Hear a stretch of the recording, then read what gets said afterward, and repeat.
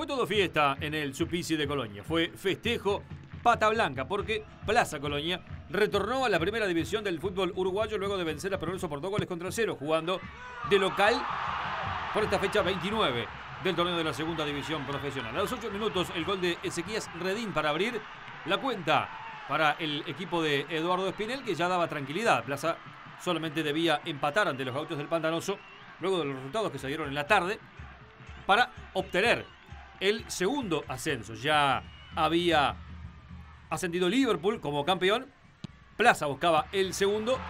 Y a propósito del segundo le mostramos el 2 a 0.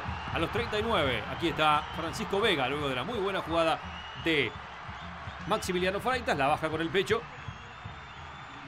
Engancha, se mete en el área, da rebote el guardameta Trillas y aparece Vega para el segundo. Plaza es de primera junto con Liverpool. Habrá un tercer ascenso que saldrá de playoff. Allí participarán Villa Teresa, Boston River Canadian y Central Español. Plaza Colonia luego de 10 años retorna al círculo de privilegio del fútbol uruguayo.